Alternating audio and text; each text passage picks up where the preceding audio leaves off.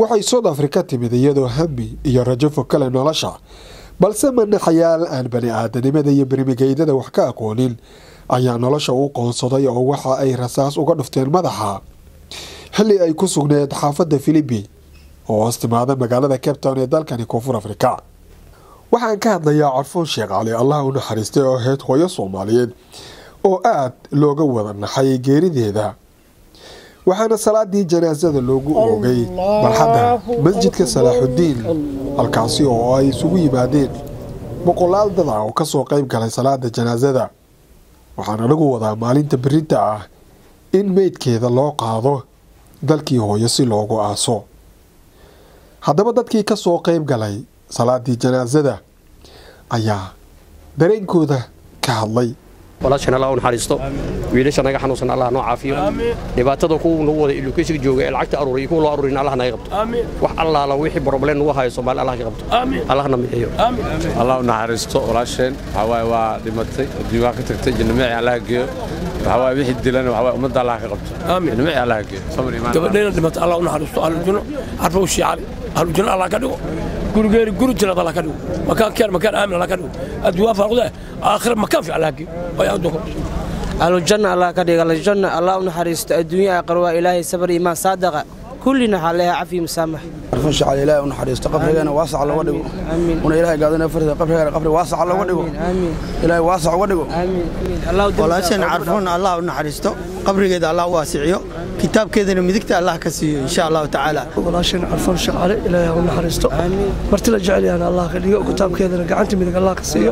Owlaadda ay ka tagtana ilaahay caafimaad taama siiyo allah koriyo muslimiinta xanuunsanna ilaahay xanuunka ka qaado dhibaatadana haysatana allah naga dulqaado ilaah u naxariisto walaasheen qabrigeeda allah u waasiciyo ahlu janna allah ka dhigo. Inta dhimatana allah u naxariisto inta bugtana allah caafiyo. Walaasheen allah u naxariisto sabir allah naga siiyo. Intay ka tagto dhaaxasna allah nooga dhigo. Inta waddankaa joogtana oo islaamka eh. Allah ku ammaansan inaa lilaahi wa inaa ilayhi raajicuuna allah u naxariisto walaashayna carfoon. Allah u naxariisto qabrigayna rawdatu min riyaadiljanna allah uga dhigo allah uga dhigo ahalkay ka tagtane ilaahay kuwii bashbashi baraqol allah ka dhigo allah ka sabar siiyo dhammaan muslimiinta allah ka sabar siiyo godkeerina insha allah haddii la geeyo ilaahay janaatulfirdows allah geeyo. Dhanka kale maxamed cabdi maalin oo ah muwaadin u dhaqdhaqaaqa dadka ku nool lukeeshinada ayaa jaaliyadda soomaaliyeed guud ahaan ee dalkani koonfur afrika ku baraarujiyey in aysan sharciyadooda marnaba aysan ka tegin. Inaa lilaahi wa inaa raajicuun. Galabta waxaan halkaas u nimidnay inaan janaasada ku dukanno walaasheen carfoon sheecali oo gacanka xaqa daran ay dishay oo maaragtay geeriyootay maalintii sabtida bisha labaatan koow ay ahayd way ka dhiyaa la galay. Waxaa dantu maaragtay ilaahay baday in maanta halkan janaasada kula dukan ayaan isugu yeelatay. Walaasheen maalintii ay dhimanaysay barqada ayay dhimatay. Sidaa darteed maalintaas waxaan aasaynay laba miidoo kale ayaan aasaynay wiila gabar kale. Gabadha kale waxaa lanoo sheegay inay iskeeda u laakiin muddo labaatan iyo shan cisho ah waddankan ay joogtay. Sidaa darteed xataa takhaatiirtu waxay nala wadaageen.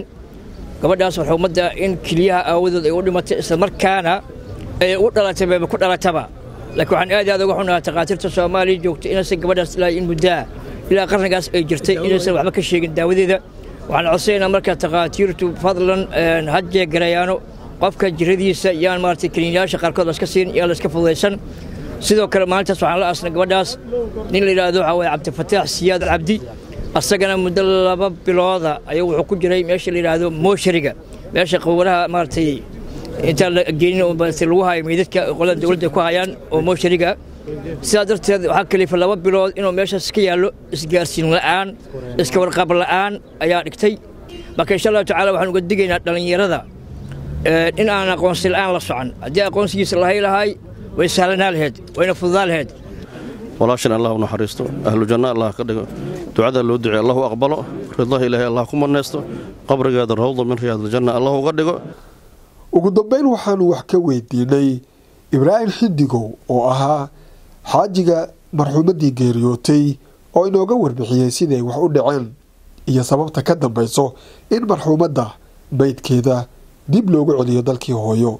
Waxa uunu yidhi inaa lilaahi wa ilayhi raajicuun. Maa facala aljaliilu fahuwa jamiil.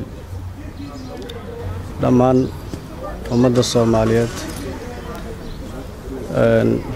geerida naxtiiranyada leh ay nagala qayb qaadatay. Waa ku mahadsan yihiin. Gabadhan gabarh soomaaliyeeday ahayd. Qof ahlu khayra oon wax badan ka aqaano ayay ahayd. Ilaahay jannatulfirdows alaclaa ayaan uga baryaynaa. Ani ahaan weligay waa u ducay jiray. Wax la soo koobi kara maaha intaan iska naqaano xaajiyadayda khayr ilaahay jannatulfirdows alaclaa ha nagu kulmiyo.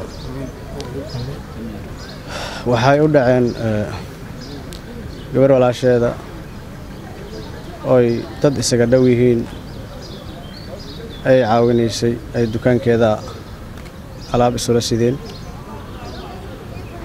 Subaxdii xaafadday iiga tageen lamadoora anna meel kalean aaday.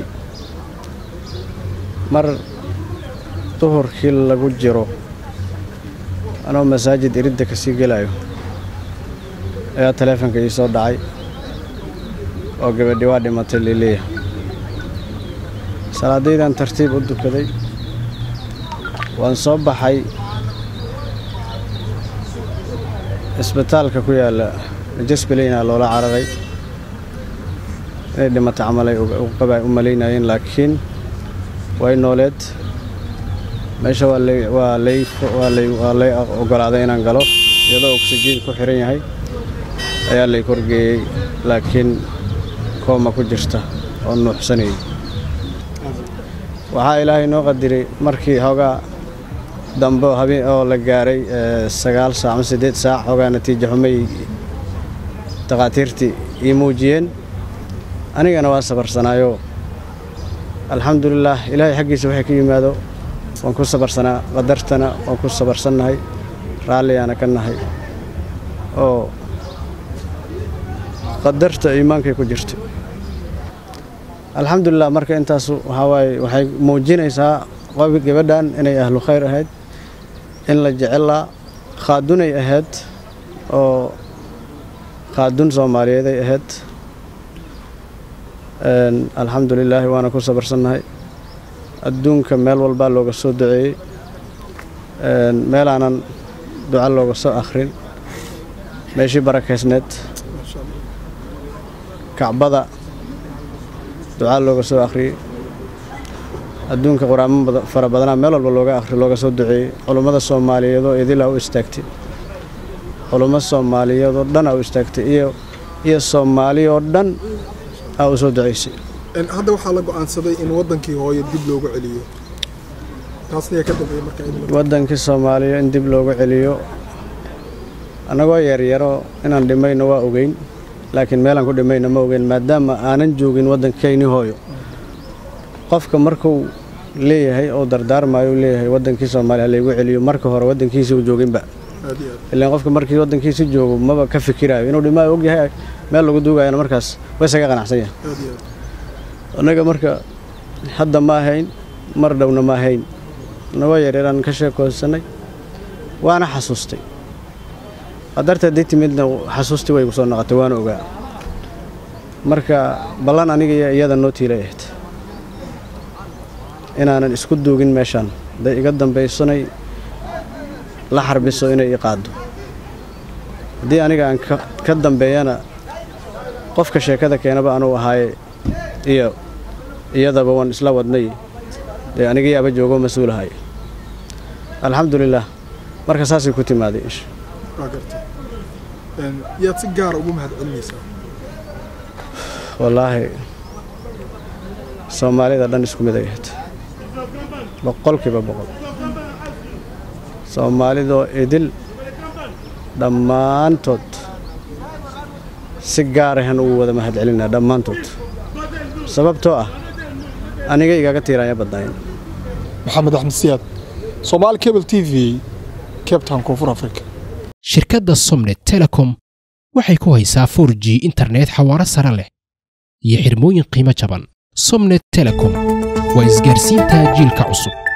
Shirkadda beeko waa shirkadda ugu weyn ee bixisa adeega korontada soomaaliya. Beeko waxa ay koronto siisaa inta badan koonfurta soomaaliya sida banaadir jubbaland hirshabeelle iyo koonfur galbeed.